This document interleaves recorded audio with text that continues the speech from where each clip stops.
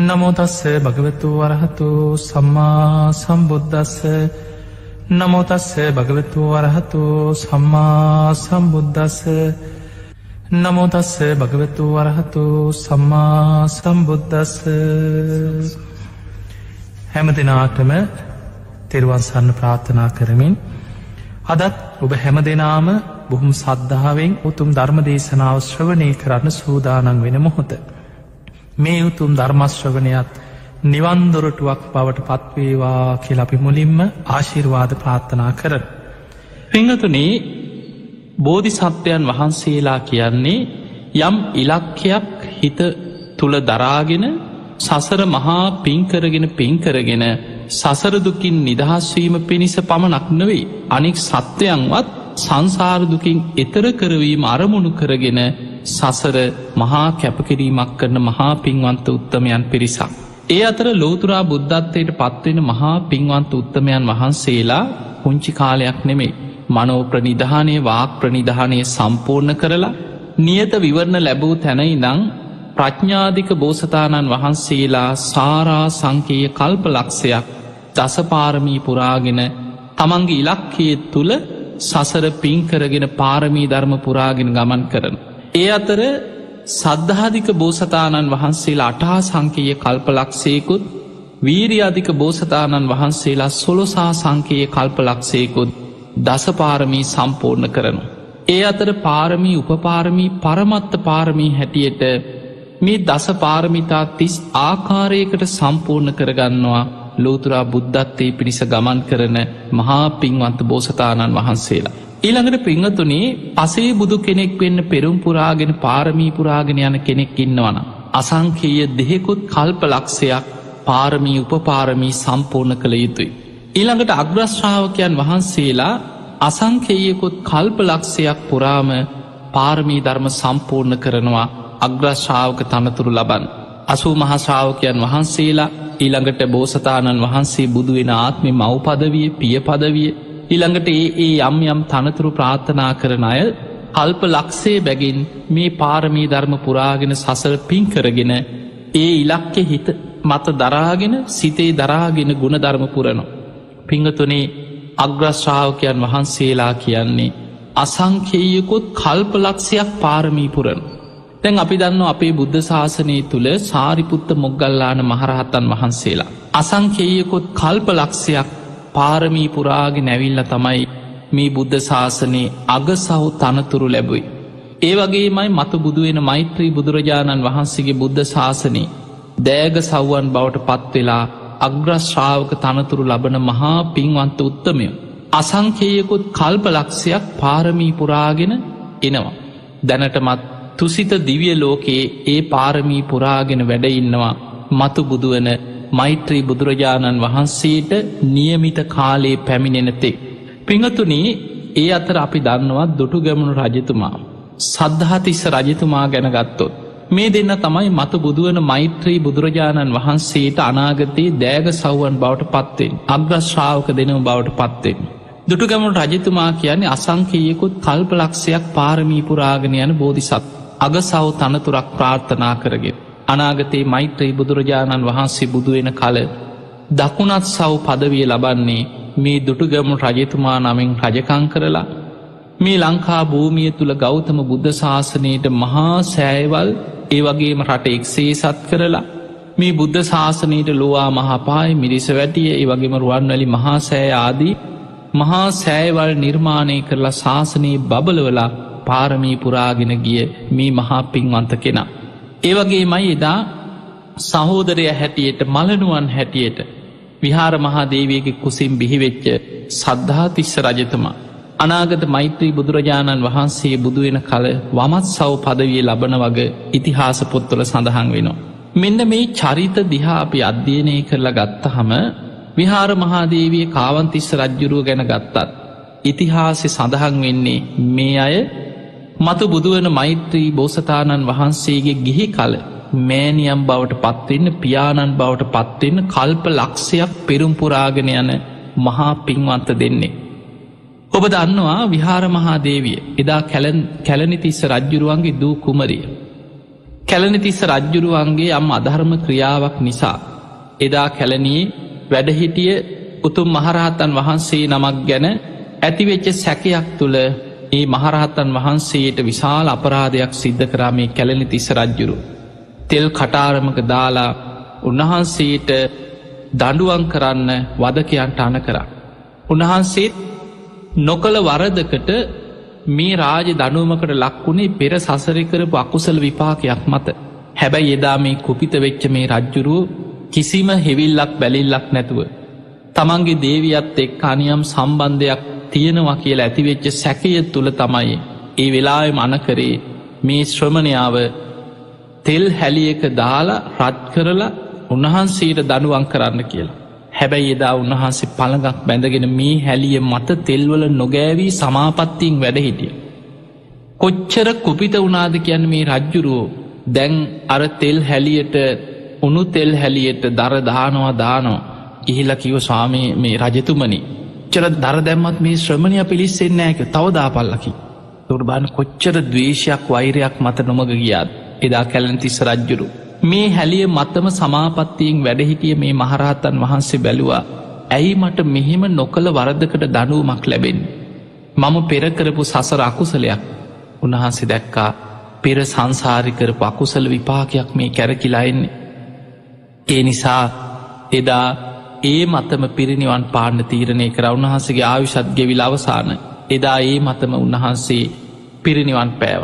එදා මේ රජ්ජුරුවෝ කුපිත වෙලා උන්වහන්සේ පිරිනිවන් පෑවට පස්සෙත් වදකයන්ට අන කරා කෑලි කෑලිවලට කපලා.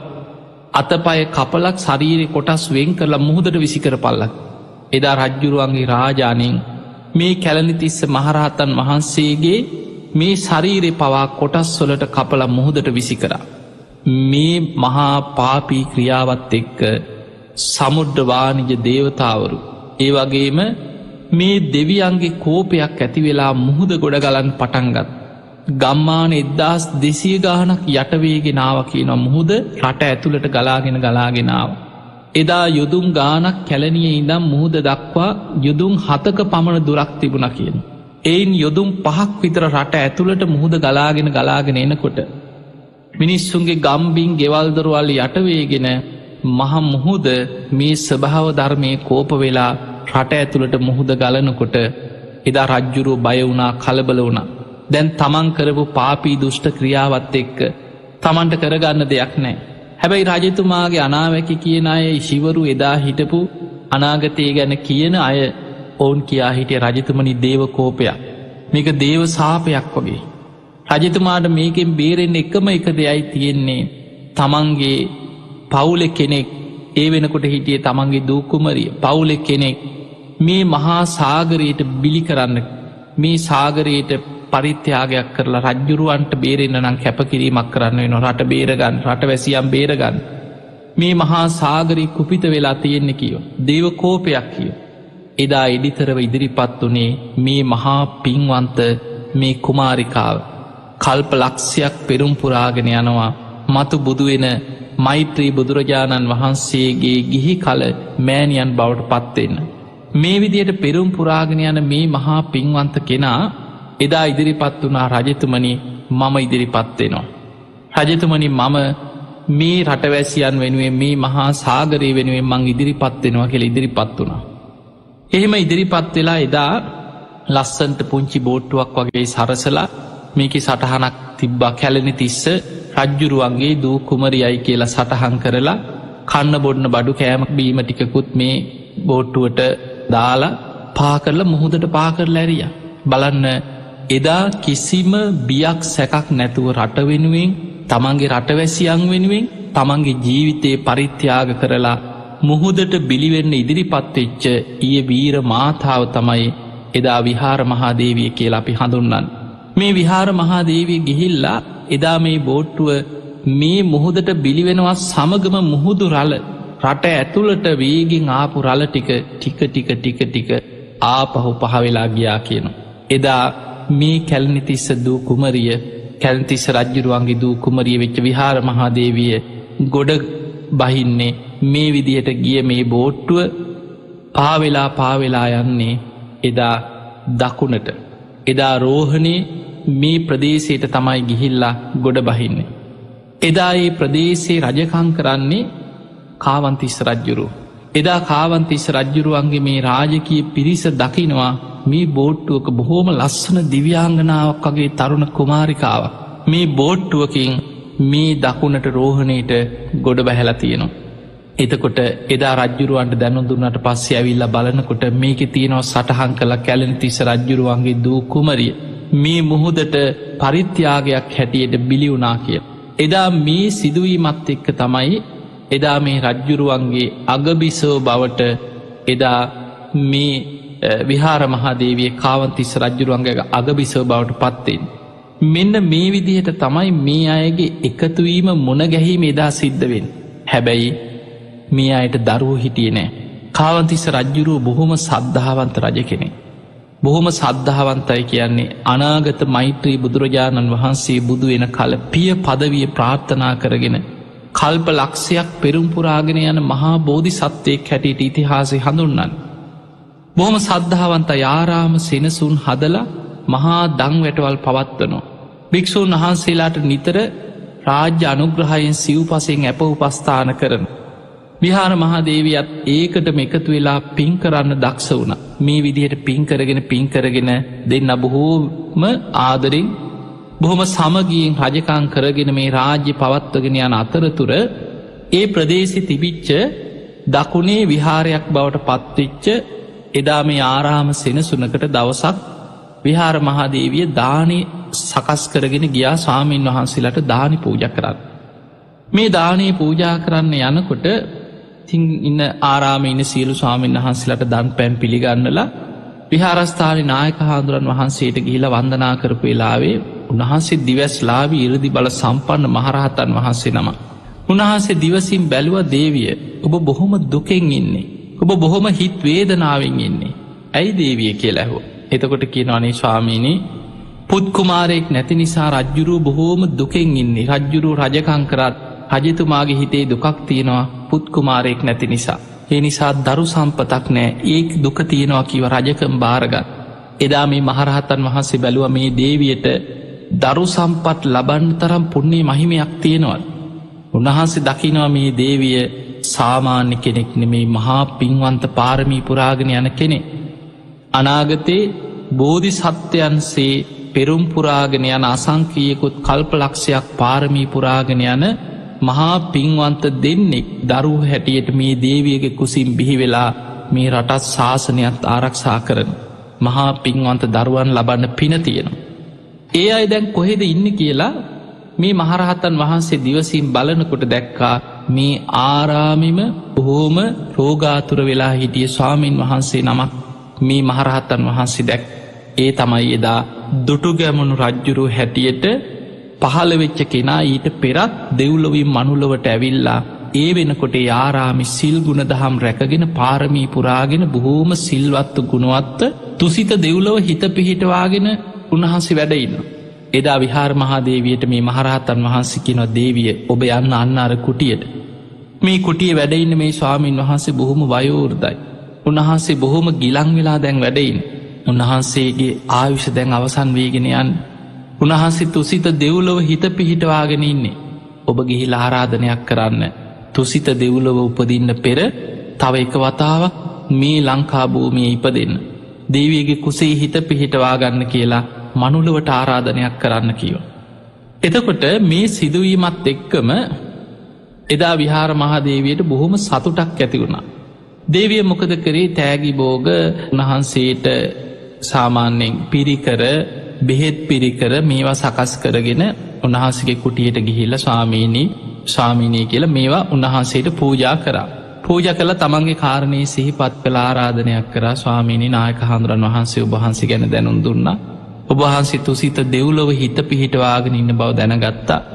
දිවියලෝකෙ වඩින්න පෙර තව එක වතාවක් මේ මනුස්ස ලෝක ඉපදෙන්න. ඔබහන්සේට පුළුවන් මගේ කුසේ හිත පිහිටවාගන්න. ඔබහන්සේ මහා පින්වන්ත කෙනෙක්. මේ ශාසනයේ බබල වන්න පුළුවන් කියලා ආරාධනයක් කර. නෑදේවිය මන්තු සිත දෙව්ලොව හිත පිහිටවාගෙන අවසානයි කිය. දෙවනි වතාවත් ආරාධනා කරා ඒ වෙලා ප්‍රතික්ෂේප කරලකින දේවිය මම තුසිත දිවිය ලෝක හිත පිහිටවාගෙන අවසාන. තුන්ගනි වතා විහාර මහාදේවී කෙනව සාමිනි උබහන්සේ සාමාන්‍ය තැනක සාමාන්‍ය පවුලක මනුස්සලෝක ඉපදුනොත්. වහන්සේට පෙරුම් පුරාගන්න පාරමී පුරන්න ශාසනයේ බබලවන්න ලොකූ දෙයක් කරන්න අපහසුයි. නමුත් ඔබහන්සේ රජකං කරන රජ පවුලක ඉපදුනොත් රටත් ශාසනයත් බබලෝල වෙහෙර විහාර ඉදිකරලා බුද්ධ ශාසනයේ බබලවල පාරමී පුරාගන්න පහසුයි. ඒ ගැන හිතන්න කියෝ. ඒ වෙලා මේ සාමීන් වහන්සේට හිතුන මේ දේවී කියන කතාව ඇත්තක් තියෙනවානේ. මම ධාර්මිෂ්ටෝ මට රජකං කරන්න පුළුවන් රජ පවුලක ඉපදුනොත්. වෙහෙර විහාර හදන්න පුළුවන් ශාසනයේ බබලවන්න පුළුවන්. බුද්ධ ශාසනයේ දියුණු කරලා මට පාරමී පුරාගන්න පහසුයි නේද කියන සිතුවිල්ල හිතට ඇති වුණ ආරාධනය පිළි අරගෙන කිනො දේවිය ඔබ එහෙම නන්දය යන්න ඔබේ ආරාධනයමම් පිළිගත්තකියෝ. දේවිය බොහෝම සතුටින් උන්වහන්සේට වන්දනා කළ මාලිගාවට පිටත් වනා හැබැයි ටික දුරක් යනකොටම මේ ස්වාමීන් වහන්සේ අර කුටියම අපවත් වනා. උන්හස බොහෝම රෝගාතුර වෙලා හිටියේ ඒ වෙලාවෙම අපවත්වෙන අපවත්වෙන මොහොතෙම දේවියගේ කුසට අමුත්තක් දැනුන මාලිගාවට රතයෙන් යන ගම. දේවිය කරත්තය අරගෙන යනායට කිව ඉක්මනට හරවන්න ආපහු යංකීව. ඒ මොහොතෙම දේවතාවරු දේවිය වාඩි වෙලාගේ කරත්තේ ඒ රෝදය ඒ පැත්තේ රෝදය පොළවෙ හිරවෙන්න එරෙන්න සැලැස්වා කියනවා. ලකුණක් වසේ. දෙවි ආපහු හැරිලා ආරාමිට ගිහිම් බලනකට උන්වහන්සේ අපවත් වෙලා. ඔන්න ඔය විදිහට තමයි දුටු ගැමණු කුමාරයාගේ කුස පිළිසිඳ ගැනීම විහාර මහාදේවයගේ කුස පිළිසිඳ ගැනීම ගැන ඉතිහාස පොත්තුල අපේ සඳහන් වෙලා තියෙන්. එදා පිංහතුනි මේ විදිහට මේ කුසේ පිළිසිඳගත්ත මේ මහා පින්වන්ත කෙනා තමයි දුටු ගැමුණු කුමාරය හැටියට එදා ගැමුණු කුමාරය හැටියට විහාර මහාදේවී කුසිල් ලෝකෙට බිහිවෙන්. ඒ වගේ මයි තමන්ගේ මලනුවන් හැටියට මේ සද්ධාතිස්ස කුමාරයක් ලෝකෙට විහාර මහාදේවේගේ කුසින් දෙවනි දරුවෙක් හැටියට බිහිවෙනවා. මේ දෙන්නම කල්ප ලක්ෂයක් අසංකේයකුත් කල්ප ලක්ෂයක් පෙරුම්පුරාගෙන යන මහා පින්වන්තයු දෙන්න. දැන් දුටුගැම රජ්ජුරුව ගැන ඔබට එක පාරට ඉරිහා බලනකොට. ඔබ දුටුගැම රජ්ජුරුව ගැන අහලා තියෙන්නේ මේ රට යුද්ධයක් කරා රට එක්සේසත් කරා එලාරව පරාජයට පත් කරා වෙහෙර විහාර හැදවා එතකොට මේ වගේ තොරොත්තුරු ටිකක් අපිට දුටුගැම රජ්ජුරුව ගැන අහන්න ලැබෙනවා. හැබැයි දුටුගැම රජ්ජුරුව යුද්ධ කරේ මොනවගේ චේතනාවක් දරාගෙන තෙ මද මේ ලෝක නායකයකුටුවත් අද ලෝක යුද්ධ කරන කෙනෙකුටවත් මේ කිසිම කෙනෙකුට දුටුගැමුණු රජ්ජුරුවන්ගේ යුද්ධ ඒ යුද්ධ චේතනාව ඒ තිබ්බ පිරිසිදු භාවය ඒ ස්වභාවී ගැන අපිට හිතාගන්නවත් පුළුවන්කමක් නෑ. දුටුගැම රජ්ජුරුව සේනාව සංවිධානය කරලා. තිස්ස මහාරාම චෛත්‍ය වැඳල එතනින් තමයි ගමන ආරම්භ කරන්න. දැන් අවයාවි දරගෙන සේනාව පුහුණු කරලා පුරුදු කරලා එදා තිස්ස මහාරාමි වැඩහිටියකින දොළොස්දාහක් මහරහතන් වහන්සේලා. ඔබ අහල ඇති සිතුල් පව්ව දකුණේ එදා මහා විහාරි බවට පත්වනේ තිස්ස මහාරාම. ඒවගේම සිතුල් පව්ව තමයි කැලේ බණ භාවනා කරගෙන වැඩහිටි ආරණ්‍යවාසී භික්‍ෂූන් වහන්සේලා වැඩහිටිය. එදකොට සිතුල් පව්වත් වැඩහිටිය කැලෑ බදව බණ භාවනා කරන දොළොස් දාහක් තරම් මහරහතන් වහන්සේලා වැඩහිටිය. දුටුකමන කුමාරය සද්ධාතිස කුමාරයත් අධ්‍යාපනය ලබන්නේ තිස්ස මහාරාමය වැඩහිටිය මේ භික්‍ෂූන් වහන්සේලා තමයි මේ රාජ කුමාරවරු දෙන්නට ශිල්පශාස්ත්‍ර අධ්‍යාපනය ඒ රාජකීය මේ උගැන්වීම් සියල්ල උගන්නලා මේ අයව ඥානවන්තයම් බවට පත් කළ ශාසනය ගැන හිත පහදවලා අවශ්‍ය මට්ටමට ශිල්ප ශාස්ත්‍ර ගැන දැනුම ලබල දෙන්න. එදා දුටුගැම රජ්ජුරෝ සේනාවත් එක්ක ගිහිල්ල තිස්ස මහාරාම මහා සෑය වන්දනා කරලා. මහරහතන් වහන්සේලා ඉදිරි ආයුධ අතට අරගෙන සත්‍යයක් ක්‍රියාවක් කරා. ස්වාමීනී මම මේ යුද්ධෙට යන්නේ හුදෙක් රජ සැප පිණිස නොවේ. බුද්ධ ශාසනයේ චිරස්ථිතිය උදෙසාමයි මේක සත්‍යයක්මයි ඔබහන්සේල මගේ හිත දකිනො ඇත් මම මේ රජ සැප පිණිස රට විශාල කරගන්නවත් භූමිය විශාල කරගන්නවත් මේ භූමි තන්හාාවකින් රජ සැප පිණිස සතුරෙක් පරාජයට පත් කරලා භූමියක් අල්ලගන්න යන ගමනක් නෙමේ මම ශාසනය වෙනුවෙන් යන ගමනක් ඔබහන්සේල මගේ පිරිසිදු භාවේ දකිනවනං මාත් එක්ක මේ ගමනේ පෙරගමන් යන්න පිරිසක් වඩින්න කියලා දුටුගම රජ්ජුරුවෝ මහරහතන් වහන්සේලා ඉදිරියේ වන්දනා කරලා සිහිපත් කර. එදා මේ දොළොස් දාහක් මහරහතන් වහන්සේලා අතරින් පන්සීයක් මහරහතන් වහන්සේලා ඉදිරිපත් වුණ. රජතුමායෙක් පෙරගමන් යන්න මේ යන ගමනට. එතනදී තැම් බලන්න දුටුගම රජ්ජුරු මේ යන්න යුද්ධ එකට. සේනාවක් එක්ක යන්න. හැබැයි මේ යන ගමනට පෙර ගමන් යන්න ඉදිරි පත්වනේ මහරහතන් වහන්සේලා පන්සීය. එදකට පෙංහතුනේ එදා දුටුගැම රජ්ජුරු එක්ක පන්සීයක් මහරහතන් වහන්සේලා මේ ගමනේ පෙර ගමන් යන්න ඉදිරිපත් වුණා. හැබැයි දැන් දුටුගැම රජ්ජුරුව යන්න මේ යුද්ධකට. හැබැයි මේ යුද්ධකට ගියත් රජ්ජුරුවන්ගේ චේතනාව තියෙන්නේ බුද්ධ ශාසනය වෙනුවෙන් මේ රට එක්සේ සත් කරන්න යන ගමන. රජ්ජුරුවෝ නලලෙ ජටාව බැඳගත්තේ බුද්ධෝතිලෝක සරණෝ බුද්ධෝ සුරියෝ තමෝනුදෝ. ඒවන්තන් සරණංකේ මං බුද්ධෝ මේ සරණංවර ගච්ඡාමි සරනම් බුද්ධං නත්ති මහියම් බයන් සත අන රජ්ජුරුවන්ගේ එක්ක මධිෂ්ඨානය රත්තරම් පත්තීරුවක ලියලා නලලි බැඳගත්තා. ධම්මෝතිලෝක සරණෝ දම්මෝ සුරියෝ තමෝනුදෝ ඒවන්තන් සරණංකේමං ධම්මෝ මේ සරණංවරන් ගච්ඡාමි සරණන් ධම්මන් නත්තිමයියම් බයන් සදා.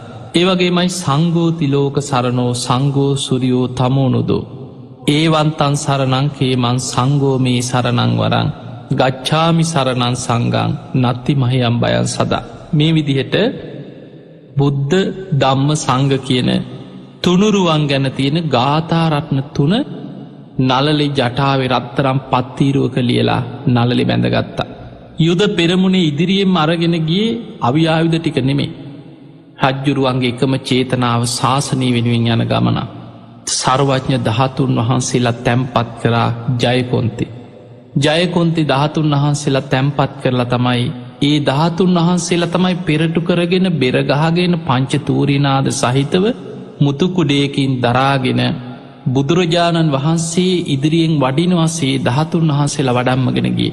තැන් ඔබ දැකල ඇති අපි නිවසක දානයක් දෙනෙකුට හරි විහාරස්ථානික පින්කමකට පිරිත් පින්කමකට හරි මුලින්ම වඩම්මන්නේ සදහතුක ධාතු කරඩුව. බුදුරජාණන් වහන්සේව තමයි දහතුන් වහන්සේලාගේ අර්ථවත් කරන්න. එදකොට මේ සදහතුක ධාතු කරඩුව නිවසට වඩම්මනවා කියන්නේ බුදුරජාණන් වහන්සේ ඉදිරියෙන් වඩිනවා. ඊට පස්සෙ තමයි පිරිතකට නං පිරිවානා පොත් වහන්සේලා ධර්මරත්නය ඊළඟට සංගරත්නය වඩින්න. එදා මේ යුද පෙරමුණේ ඉදිරියෙන් අරගෙනගේ සර්වඥ ධාතුන් වහන්සේලා බුදුරජාණන් වහන්සේ ඉදිරියෙන් වඩිනෝ. ඊළඟට පන්සීයක් මහරහතන් වහන්සේලා පිරිත් සජ්්‍යහයනා කර කර ඊට පිටු පසිං වැඩම කර. ඊටත් පිටු පසින් තමයි රජ්ජුරුව සේනාවත් එක ගමන ආරම්භ කරේ. මෙහෙම ගිය ගමන තිස්ස මහාරාම ඉදන්. එදා රාත්‍රී ටික දුරක් ගමන් කරලා හවස් වෙනකොට බොහම ලස්සන මණ්ඩපයක් හදලා දහතුන් වහන්සේලා තැම්පත් කරලා ගිලම් පස බුද්ධ පූජාවල් තියලා බුදුන් ඇඳල සංඝයාට ගිලම් පස පූජා කරලා එදා රාත්‍රී නිදාගන්න. උදේ පාන්දර අවදිවිච්ච ගමන් බුද්ධ පූජාවතිලා බුදුන් ඇඳලා සංඝයාට දානටික පූජ කරලා ගමන ආරම්භ කරනු. මේ විදිහට තමයි මේ ගමන පිටත් වෙලා යන් එතකොට බලන්න යුද්ධකට මෙහෙම යනවා කියන්නේ අද අපිට හිතාගන්නවත් පුළුවන්ද. එදකොට මේ රජ්ජුරුවන්ගේ හිතේ තිබිච්චි මොන්න තරම් පිරිසිදු චේතනාවද්ද කියන අපිට පැහැදිලියෝ පේනවා. දැම් බලන්න මේ යන ගමනේ එදා යුද්ධයට යන අතරතුර දැක්කා මයිංගනේ හරහා යනකොට මයිංගන මහාසෑය ගරා වැටිලා. එදා අපේ බුදුරජාණන් වහන්සේ බුද්ධත්වයෙන් නමවෙනි මාසි තමයි ලංකාවට වැඩම කරලා යක්ෂයන් පලවා හැරලා එදා සබර්ගමෝ පාලනය කරපු පාලක රජ්ජුරුව බණහල සුවාන් පලට පත් වනා සුමන සමන් දෙවියන්. කේෂ දහතු මිටක් ලබා දුන්නා ඒ කේෂ දහතුන් වහන්සේලා තැම්පත් කළ ඉදිකරපු චෛත්‍ය තමයි මයංගන චෛත්‍යරාජාණන් වහන්සේ. ඒවගේමයි බුදුරජාණන් වහන්සේ පිරිනිවන් පෑවට පස්සේ උන්වහන්සේගේ ග්‍රීවා දහතුන් වහන්සේ සරභූ මහරහතන් වහන්සේ අහසිං අරගෙන ඇවිල්ලා මයංගන මහා සෑයි ධාතු ගර්භය තුළ පිහිටේව කළ ඉතිහාසිතියෙන් මේ මහා සෑය කරා වැටිලා. හැබැයි යුද්ධෙට යන්න මේ හරහා යන්නගේ රජ්ජුරුවෝ ගමන ටිකක් නවත්තලා පිරිසත් සේනාවත් එකතු කරගෙන මයිංගන චෛත්‍ය ප්‍රතිශංස් කරණය කළ චෛත්‍ය තවත් විශාල කරලා හදනවා. ඒ අතර තමයි බුලතා කියන යෝධයා එදා ඒ වැව සකස් කරන්න. එතකොට අපිට පේනවා මේ විදිහට රජ්ජුරුව යන ගමන තුළ යම් ප්‍රදේශයක් කරහා යනවන්ද ඒ ප්‍රදේශි විහෙර විහාර ප්‍රතිසංස්කරණය කරගෙන වැැව් සකස් කරගෙන රටට මහා භාග්‍යයක් කරගෙන තමයි මේ යුද්ධයට යන ගමන පවා මේ බෝධිසත්වයන් වහන්සේ මේ ගමන ආරම්භ කරන්න. එතකොට අපිට පේනවා මේ යුද්ධ පෙරමුණේ ගිහිල්ල එදා මේ රට එක්සේ සත් කරගත්ත දුටු ගැමු රජ්ජුරු දැම් බලන්න එලාර මේ රට අවුරුදු හතලිස් ගානක් පාලනය කරපු මේ සොලී පාලකෙක් හැටියට ඉතිහාසි සඳහන් වෙනවා. හැබැයි එලාර පරාජයට පත් කරලා මේ රට එක්සේ සත් කරපු දුටු ගැවුම් රජ්ජුරු. කවදාවත් එලාරගින් පරම්පරාවෙන් මුළු සියලු සොලීන්ගෙන් පලිගන්න කල්පනා කරේ නෑ. එලාර වෙනුවෙනුත් මහා සෑයක් ඉදි කෙරෙවු. එලාර රජ්ජුරුව වෙනුවෙන් චෛත්‍යයක් ඉදි කර.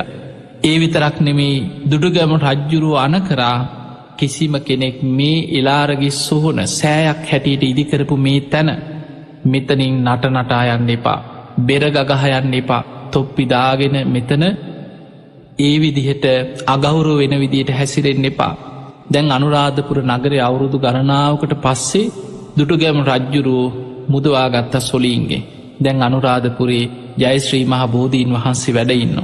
මේ බෝධීන් වහන්සේ ආරක්ෂා වනේ මහා පුදුම විදිහට. එලාර අවුරුදු හතලිස් ගානක් මේ ප්‍රදේශ පාලනය කරත් ජයශ්‍රී මහා බෝධීන් වහන්සේට හානියක් කරගන්න බැරිවුණාහුට. ඒ අතර දුඩුගැම රජ්ජුරු යුද්ධය අවසන් කරලා සේනාවත් එක්ක ඉස්සල්ලාමගේ ජයශ්‍රී මහ බෝධීන් වහන්සේට බෝධි පූජාවක්තිය. මේ යන ගමනේ බෝධීන් වහන්සේට පුද පූජාවන් කරලා යයිශ්‍රීමා බෝධීන් වහන්සිට බෝධි පූජාතියල වන්දනා කරලා බුදුන් ඇඳලා එන අතරතුර තමයි අමාත්‍යවරේ මහමෙවුනා උයනේ නිදහස්සේ ඇවිදගෙන ඇවිදගෙන මේ උයන්සිරි නරමගෙන එනකොට තමයි දකින්නේ එදා සෙල් ටැඹ එදා මිහිදු මහරහතන් වහන්සේ දේවානම් පේතිස්ස රජ්ජුරුවන්ට අනාගතේ නුබේ මුණුබුරෙක් හැටියට පහළ වෙන. දුටු ගැමුණු නම් රජ කෙනෙක් මේ රට එක්සේ සත් කරලා මේ භූමියයේ මහා සෑයක් කරවනවා කියලා මේ කියපු අනාගත වාක්‍යය සඳහන් කරපු සෙල් ටැම දකිනු. ඒ විතරක් නෙවෙයි සංඝයා උදෙසා නවමහල් ප්‍රාසාදයක් ඉදි කෙරෙව්ව. මිරිස වැඩි චෛත්‍යරාජාණන් වහන්සේ ඉදිකරවන්නේ දුටුගැම රජ්ජුරු. දැන් යුද්ධ අවසන් වෙච්ච ගමන් දුටුගැම රජ්ජුරු ඉස්සරලාම කරේ සංඝයා රැස් කරන. සංඝයා රැස් කරල මහා සංඝයාට කියනවා ස්වාමිනි ඔබහන්සේලා මේ අවුරුදු ගණනාවක් මේ යුද්ධ නිසා ඔබහන්සේලා පීඩාවට පත්වෙන්න ඇති. මේ රටවැසියන්ටත් බොහෝ පීඩාවන් සිද්ධ වුණා. ඔබහන්සිලට හරියට පෝය කර්ම විනේ කර්ම කරගන්න පවා නොහැකි වෙන්න ඇති. ඒ නිසා ස්වාමීනි මං මුලින්ම ඔබහන්සේලාට පෝය කර්ම විනේ කර්ම කරන්න පෝයගයක් හදල පූජ කරන්න. ඔබහන්සේලා මට සුදුසු සැලස්මක් ගෙනත් දෙන්න කියෝ. ඒ වෙලාවෙ රජතුමාගේ මේ ඉල්ලීමට සතුටු වෙච්ච මහරහතන් වහන්සේලා සංඝයා රැස්වෙලා අට නමක් මහරහතන් වහන්සේලාට පැවරුවා අහසින් ගිහිල්ලත් දෙව්ලොවට රජ්ජුරු ඉල්ලුවේ මට දිවිය විමානික සැලැස්මක් ගෙනත්දේ. අට නමක් ඉරදි බල සම්පන්න මහරහතන් වහන්සේලාට පැවරුවා වහන්සිලා දෙව්ලොවට යන් දිවිය ලෝකෙ තියෙන බොහොම ලස්සන දිවිය සැලැස්මක් ගෙනහල රජ්ජුරුවන්ට දෙන්න කිවා. එදා බිහිරණී කෙන දිව්‍යාංගනාවට තවතිසා දෙව්ලෝ පහළවෙච්ච නවමහල් සට්ටුවනින් පහළවෙච්ච දිවිය විමානයක් තිබුණ. මේ විමානය අනෙත් විමාන අභිභවා බැබලෙනවා සට්ටුවනේ.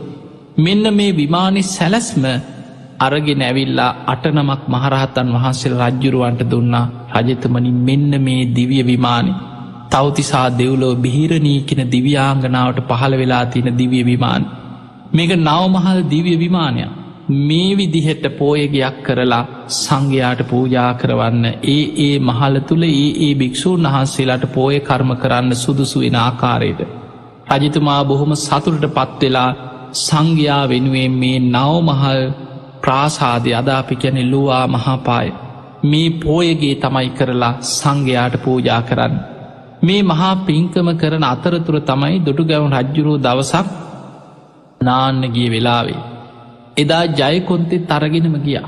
ජයකොන්තෙ තමයි රජ්ජුරුවන්ගේ ජයග්‍රහණි සංකේ මේ ජයකොන්ති තුළ තැම්පත් කළ තියෙන සර්වඥ ධාතුන් වහන්සේලා.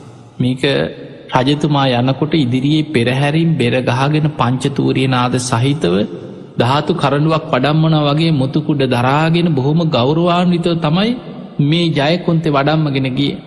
එදා මේ යන ගමන රජතුමාට හිතෙනවා දැම් මෙතනදි පැම් පහසු වෙලාගියොත් හොඳයි. එදා එතන තියෙන ගල් තලාව මත මේ ජයකොන්ති බොහොම ගෞරවාන්විතව තැම්පත් කරලා ඒ පිරිසට කිව ආරක්ෂාවට වටේට වැඩයි. ඒ අය හරියට බුදුරජාණන් වහන්සේට පවන් සලන වගේ පවන් සලමින් සේසත් දරාගෙන මේ ජයකොන්තෙළඟ මේ රාජකී පිරිස වැඩයි නතරතුර රජ්ජුරුවෝ එදා බසවක් කුළම වැවෙන් පැම් පහසුනා. එදා පැම් පහසු වෙලා නාල ගොඩට ඇවිල්ලා මේ ජයකොන්තෙ ගන්න සූදානන් වෙනකොට ජයකොන්තෙ ගන්න පුළුවන්කමක් නෑ අර ගල මත එහෙමම පිහිටලා. එදා පුදුමට පත්වෙලාකින රජතුමනි මේ ජයකොන්ත එහෙමම පොළොව පිහිටල මොකද අපි කරන්නකි. ඒ වෙලාවේ රජතුමා ඉක්මනට සංඝයා රැස් කරලා සංඝයාගෙන් විමසනා ස්වාමීනි හරිම පුදුමයි හරිම ආශ්චරි මධ්‍යයක්. මේ ජයකොන්ත මෙතන මේ භූමියම පිහිටල තියෙන. දැන් අපි මොකද කරන්න කිය. එදා වැඩහිට එරදි බල සම්පන්න මහරහතන් වහන්සේලා කියන රජතුමනි ඔය ජයකොන්තෙ පිහිටල තියෙන තැන. අපේ බුදුරජාණන් වහන්සේ තුංගනි වතාවේ ලංකාවට වැඩම කරපු ගමනේ පන්සීයක් මහරහතන් වහන්සේලා සමඟ මෙතන සමාපත්තියෙන් වැඩහිටිය තැන. ඒ නිසා ඔය ජයකුන්තේ තැම්පත් කරලම් මෙතන මහා සෑයක් චෛත්‍යයක් කරවන්. ඒ තමයි මිරිස වැටි චෛත්‍යරාජාණන් වහන්සේ. එදා ජයකුන්තේ නිදන් කරලා දුටුගැමුණු රජ්ජුරු අනුරාධපුර නගරේ රුවන්වැලි මහා සෑ ඉදි කරන්න පෙර තමයි මිරිස වැටි චෛත්‍යරාජාණන් වහන්සේ ඉදි කරන්න. ඉදි කරලා මහා සංඝයා රැස් කරලා මේ මිරිස වැටි චෛත්‍යය ජයකොන්ත නිදං කරපු ශාසනයට සඟ සතු කරලා පූජා කරන. දැම් බලන්න මේ විදිහට මේ දුටුගැමු රජ්ජුරෝ කියන්නේ මොන තරම් මහා පින් කන්දරාවක් රැස්කරගත්ත බෝධි සත්ව චරිතයක්ද. ඒ අතරතුර රජ්ජුරුවෝ රටේ දියුණුව වෙනුවෙන් වැව් පොකුණු කෙරෙව්වා වෙහෙර විහාර කෙරෙව්වා ගම් සංවර්ධනය කරා මේ කරගෙන යනකොට අර සෙල් ටැබේ තියෙන තොරතුරු ගැන දැන් රජ්ජුරුව හිතහිතා ඉන්නවා මේ භූමියයේ මහා සෑයක් කරවනවා කියලා සෙල් ටැබේ සඳහන් වෙලා තියෙනවා. පිංහතුනී ඔය දුටුගම රජ්ජුරුවෝ රුවන්වැලි මහා සෑය කරවන සිදුවීම. අපේ බුදුරජාණන් වහන්සේත් බුදු ඇසින් දකිනවා. උන්වහන්සේ බුදු ඇසින් දැකළ මහා කාශිප මහරහතන් වහන්සේට මේක දේශනා කරලා තිබුණා අපේ බුදුරජාණන් වහන්සේ ජියවමානො වැඩඉන්න කාලේ. අනාගතයේ උන්වහන්සේගේ ධාතුන් වහන්සේලා බෙදිල යන ආකාරයත් ඒ ධාතුන් වහන්සේලාගෙන් ප්‍රාමගාම නගරේ කෝලි රජදරුවන්ට ලැබෙන ධාතු ද්‍රෝණය ලංකා භූමියයට ලැබෙන ආකාරයත් අනාගතයේ ස්වර්ණමාලි මහාසෑය නමින් ලංකා භූමියයේ පහළ වෙන දුටු ගැමණු නම් රජ කෙනෙ මහාසෑයක් කරවලා ධාතුන් වහන්සේලා ද්‍රෝණයක් තැම්පත් කරන මේ විස්තරය මහාකාශිප මහරහතන් වහන්සේව අපේ බුදුරජාණන් වහන්සේ දැනුවත් කරපු විස්තරයක් දේශනාවල සඳහන් වෙනවා. මේක සඳහන් වෙන්නේ පළවෙනි ධර්ම සංගායනාවෙන් පස්සේ. එදා ද්‍රෝණ අටකට බෙදල දීපු සර්වඥ ධාතුන් වහන්සේලාට අනාගතයේ අන්‍ය තීර්ථකයන්ගෙන් අන්‍ය රජවරුන්ගෙන් හානි සිද්ධ වෙන බව එදා මහාකාශප මහරහතන් වහන්සේ දවසක් භාවනා කරනකොට දිවසින් දකිනෝ. උන්හස කල්පනා කරා කොහොමද අපි දහතුන් වහන්සේලාගේ ආරක්ෂාව වෙනුවේ මොකක්ද කළ යුතු. අර බෙදලදීපු ධාතුන් වහන්සේලා ද්‍රෝණ අටෙන් එක් ද්‍රෝණයක් නං ආරක්ෂිතයි ඒක බුද්ධ අධිෂ්ඨානය. ඒ තමයි රුවන් වැලි මහා සෑට ලැබෙන දහතු ද්‍රෝණය. අනික් ධාතුන් වහන්සේලා ද්‍රෝණ හතම එකතු කරලා පොළොව ඇතුළේ වාල සංගටකේ නම් වූ ආරක්ෂිත තැනක පොළොව ඇතුළේ ධාතු නිධානයක් කළ යුතුයි. මෙන්න මේ කාරණා සියල්ල භාවනාවෙන් දකින මහාකාශප මහරහතන් වහන්සේ එදා අජාසත්ත රජ්ජුරුව කැඳවල රජ්ජුරුවන්ට දැනුන් දුන්න රජතුමනී අපි බෙදාදීපු ධාතුන් වහන්සේලා ද්‍රෝණාට ද්‍රෝණ හතක් ආපහු එකතු කර යුතුයි. අනාගතයේ දහතුන් වහන්සේලාට විශාල හානියක් උපද්‍රවයක් සිද්ධවෙත්. එදා මේ මත අර බෙදලදීපු ධාතුන් වහන්සේලා ආපහු එකතු කෙරෙව්වා. ඒ සෑවල්ලොල ඒ චෛත්‍යවල ධාතුන් වහන්සේලා ඉතාම ස්වල්පේ බැගින් තියෙන් නැරලා ඒ ධාතුන් වහන්සේලා ආපහු මහාකාශිප මහරහතන් වහන්සේගේ මූලිකත්වයෙන් රජදරුව දැනුවත් කරලා ධාතුන් වහන්සේලා ආපහු ලබාගත්. හැබැයි මේ සියල්ලට අනුග්‍රහයි දුන්නේ අජාසත්ත රජ්ජුරු රජ්ජුරෝකිව ස්වාමීනි මම ධාතු නිධානයට කටයුතු සංවිධානය කරන්න. පොළොව ඇතුළේ දහතුන් වහන්සේලා නිදං කරන්න ඔබහන්සේලාගේ අවශ්‍යතාවය පරිදි ඔබහන්සේලා මට උපදෙස් දෙන විදිහට මං හැමදේම කරන්න. හැබැයි ඒ ඒ රජදරුවන්ට බෙදාදීපු ධාතුන් වහන්සේලා ආපහු ඉල්ල ගැනීම උබහන්සේ සතුයි. මොකද ධාතුන් වහන්සේලා බෙදල දෙන වෙලාවෙත් තව පොඩ්ඩිං යුද්ධකට පැටලෙන්න වෙනවා.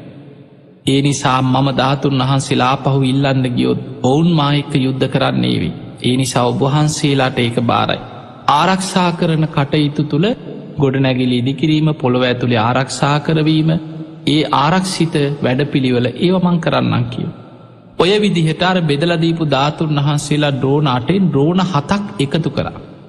එකතු කරලා රජකහනුවර විශාල් ගල් පරොත්යක් පිහිටි භූමියේ පර්වතය උන්වහන්සේලා ඉරදියෙන් එතනින් අතුරු දහන් කරලා එතන තමයිකෙන පොළොව ඇතුළට හාරලා වටේට බැඳල පොළොව ඇතුළේ චෛත්‍යයක් හැටියට සකස් කරන.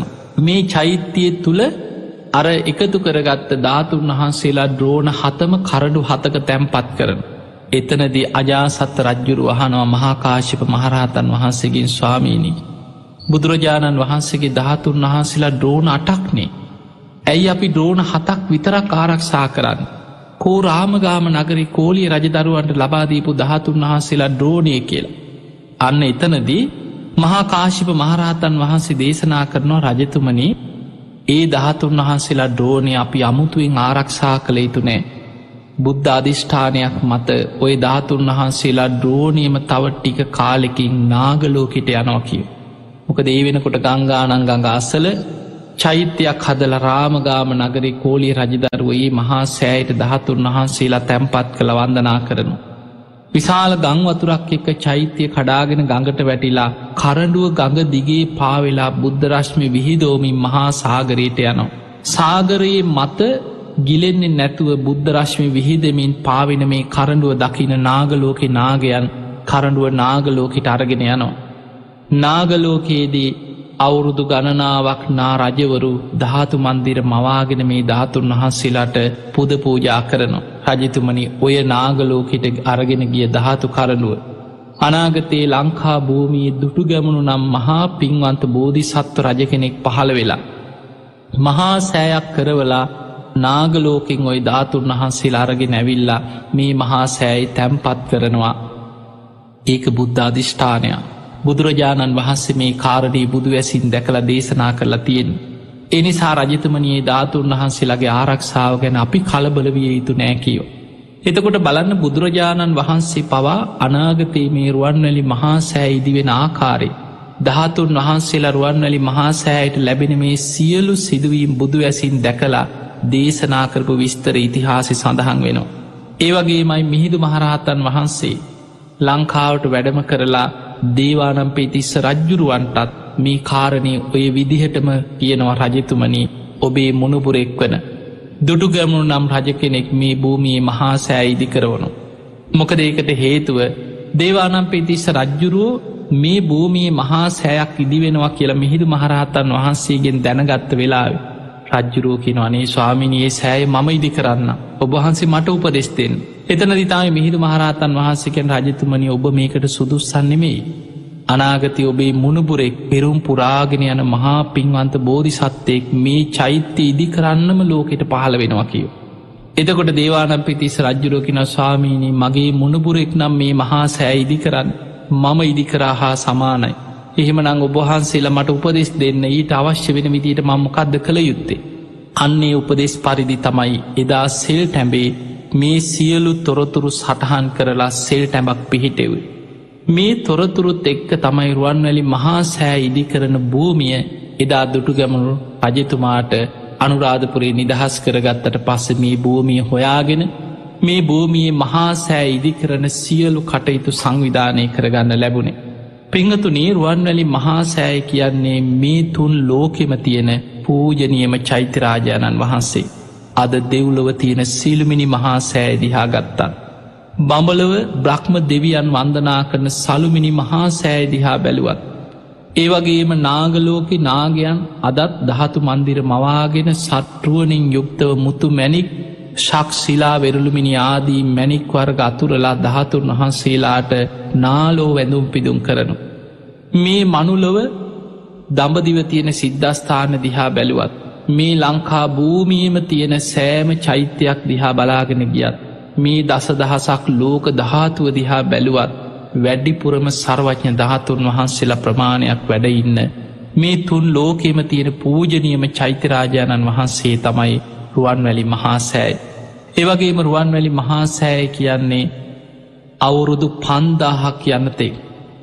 දෙව්මිනිසුන්ගේ වන්දනා ලබමින් ධාතු පරිනිර්වාණය වන තෙක් කිසිම ස්භාවික විපතකටවත් හානියක් කරන්න බැරිවෙන ආකාරයට ආරක්ෂා වෙලා පවතින මහා සෑයක්. අපි දන්නවා පෘතුගීසි ලන්දේ සිංග්‍රීසි යුගවල මේ චෛත්‍ය ගරා වැටුන් හැබැයි ගරා වැටෙන්නේ ඔය පිටිං තියෙන ඔය ආලේප කරලා තින් සමයිට ගඩොල් ටික වටේ තියෙන ඒ කපරාදුව මේ ටික කඩාගෙන වැටුනට ධාතු ගර්භය මේ ඇතුළේ තියෙන මේ ධාතුන් වහන්සේලා නිර්මාණ ඒවයි ආකාරිම පවතිනු. මහරහතන් වහන්සේලාගේ අධිෂ්ඨානය මත අවුරුදු පන්දාහක් පවතින ආකාරයට අධිෂ්ඨාන කරලා තුම් මහල් පේශා වලල්ල පමණක් නම වතාවක් පොළොවට ගිලා බැස්සෙව්. ඔය පේශාවලලු තුන වගේ නම වතාවක් ඇතුළට ගිලා බැහැපු පේශා වලලු තුනේ ඒවන් නමයක් ගඩොල් අනූකෝටියක අත්තිවාරමක් මත තමයි මේ මහා සෑ ඉති වෙලා තියෙන්. ඒ පේශාවලලු තුන බැගින් ඉරදි බල සම්පන්න රහතන් වහන්සේලා නම වතාවක් පොළොවට මේ මහා චෛත්‍ය ඉදි කරන මේ භූමිය ගිලා බස්වන්නේ අනාගතයේ ස්භාවික විපතකින් භූමි කම්පාවකින් කිසිම හේතුවකින් මේ මහා සෑයට හානියක් උපට්‍රවයක් ඇති නොවෙන්.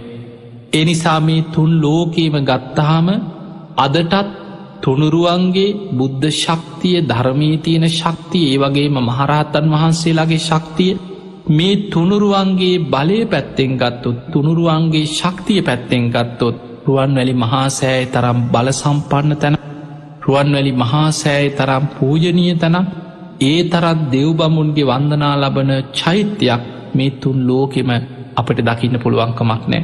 ඔබ අහල ඇති අතීතයේ මේ අනුරාධපුරේ රජකං කරපු භාතිකාබෙ රජ්ජුරු. මේ භාතිකාබෙ රජ්ජුරුවෝ තමන්ගේ රටවැසියන්ට අමාත්‍යවරු පත් කරලා. රටේ ඒ ඒ පලාත් වෙන වෙනම මල්වවන්න කාලයක් යොමු කරා. රුවන්වැලි මහා සෑම මලින් පුදන්න රජ්ජුරු තීරණය කරලා. එදා මේ භාතිකාපේ රජ්ජුරුව රටේ එක ප්‍රදේශයක් අමාත්‍යවරුන්ට පැවරුවා ඉද්ද වවන්න. තවත් රටේ එක ප්‍රදේශයක් දෑ සමන් මවන්න කියෝ. ඊළඟට සමන් පිච්ච. ඔය විදිහට ලංකාව පුරාම සුවඳ මල්වර්ග රජතුමාගේ රාජ්‍ය අනුග්‍රහයෙන් අමාත්‍යවරු යොදෝල වගා කෙරව්. අද අපි අස්වැන්න නිලනවා වගේ එදා රටපුරා මිනිස්සු යොදෝලා ඒ ඒ පලාත්වල මල් වගා කරලා. මේ සියලුම මල්වර්ග එකතු කර කර එකතු කර කර එකම දිනයක රටේම මිනිස්සු එකතු කරලා. මල් කරත්තවලින් අරගෙන ඇවිල්ල ඇවිල්ලා රුවන්වැලි මහා සෑය මල් ඔටුන්නක් වගේ මල්වලින් සැරසුව කියලා ඉතිහාස සඳහන් වෙනවා. එතකොට අපිට පේන අතීත රජවරු මේ මහා සෑය මලින් පුදල තියෙන මේ ආකාරයෙන්. මේ දුටුගැමුණු රජ්ජුරුව අදත් දුටුගැමුණු දෙවියන් නමින් දෙව්ලෝ වැඩඉන්න. දුටුගැමුණු රජ්ජුරුවන්ගේ අවසන් සුසුම් පොද හෙලන්නේ මීරුවන් වැලි මහා සෑ සලපතල මළුයි. එදා මේ මහා සෑ දෙස බලාගෙන බුදුගුණ සිහිකර කර මේ මහා බෝධි සත්වයන් වහන්සේ. මහා සෑය දෙස බලාගෙන වන්දනා කරද්දී ලක්සගනන් රහතන් වහන්සේ ලහසි මහා සෑ මළුවට එකතුුණා. රජ්ජුරූ කරපු පින්කම් සියල්ල පිම්පොත බලාගෙන අමාත්‍යවරයෙක් සිහිකරන අතරතුර රුවන්වැලි මහා සෑයට ඉහ ලහස සම්පූර්ණයෙන්ම දෙවියන්ගෙන් වැහිලගිය. දිවිය රත හයක් අහස ඉදන් රජ්ජුරුවන්ට ඒ ඒ දිවිය රතවලට අඩගහනෝ. රජතුමායින් අපේ දිවිය ලෝකෙට. නෑනෑ රජ්ජුරුවෙන් අපේ දෙව්ලෝට නෑනෑ රජ්ජුරුවෙන් අපේ දිවිය ලෝකෙට කියලා. රජතුමාව දෙව්ලෝට අරගෙන යන්න රුවන්වැලි මහාසෑ මළුව දෙවියන්ගෙන් පිරිලගයා කියෙන්. එදා පිරිත් අහල අවසන් වෙච්ච දුටු ගැමු රජ්ජුරුවෝ. එතන වැඩහිටිය මහරහතන් වහන්සේලා අතරින් තේරපුත්තාබේ මහරහතන් වහන්සේගේ විමසවා ස්වාමීනී මෛත්‍රී බෝසතාණන් වහන්සේ වැඩඉන්න මොන දෙව්ලෝද. මේ දිවිය ලෝක හයිම්ම දෙවියම් මට අඩගහනු. එතකොට උන්වහන්සිකිනොත් තුසිත දෙව්ලවයි. එහෙම නම් මමත් තුසිත දෙව්ලෝම හිත පිහිටෝනවා කියලා නින්දෙන් පිබිදිය වගේ මහා සෑම් මළුවේම අවසන් හුස්ම හෙළලා තුසිත දිවිය ලෝකෙන් ආපු දිවිය රතේ පහළ වනා කියන. අදටත් දුටු ගැමුණු දෙවියන් තුසිත දෙව්ලොව දෙවියන් පිරිවරාගෙන වැඩඉන්නවා.